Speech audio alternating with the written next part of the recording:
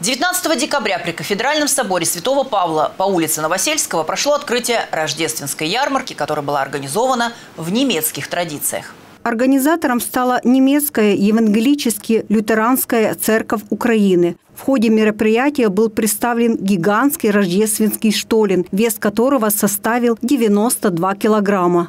Этот рекорд был зафиксирован Книгой рекордов Украины. Как пишет издание «Суспильне», для приготовления изделия использовали 50 килограммов муки, 20 килограммов орехов, 30 килограммов сухофруктов, 6 литров рома, 15 килограммов сливочного масла и столько же сыра. Рождественский кекс состоит из 70 частей, а на его приготовление создатели потратили два с половиной месяца. Организаторы планируют разделить рождественский штолен и раздать его двум тысячам человек.